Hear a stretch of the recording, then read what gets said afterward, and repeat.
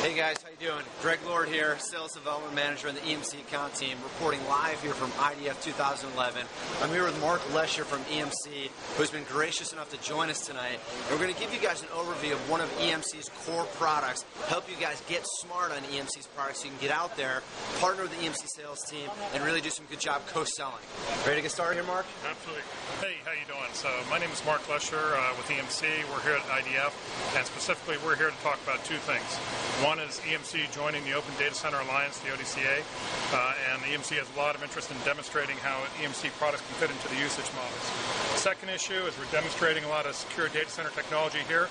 I've got a rack here with a lot of equipment in it. I'd like to talk to you about it. I'd like to talk to you about the Intel content as well. So uh, moving forward, what we have here in configuration, we're actually simulating two data centers interconnected with dark fiber.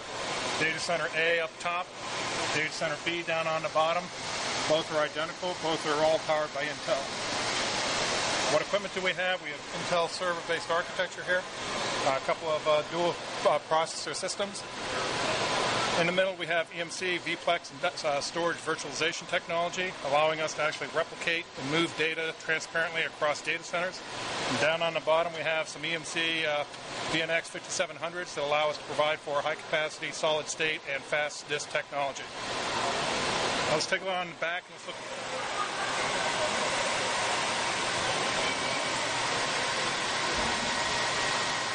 Move around the back and take a look at the systems inside, all Intel based. Up top, I have a pair of servers, all based on the Nehalem base today, soon to be replaced by EPSD white box Intel branded servers. Second layer, I've got a VNX array. This is a 5700 uh, multi-core, multi-processor based uh, uh, Westmere chips. Allows us to get the fastest capability on a caching architecture. Down on the bottom, I've got the vPlex storage virtualization appliance.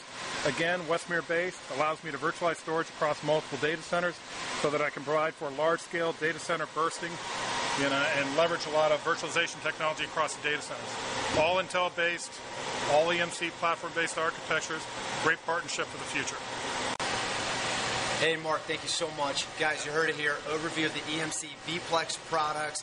Any other questions, come, you know, email me, greg.lord at intel.com. I want to help you guys get out there and co-sell with EMC. Thanks again, Mark. All right, thanks a lot, guys.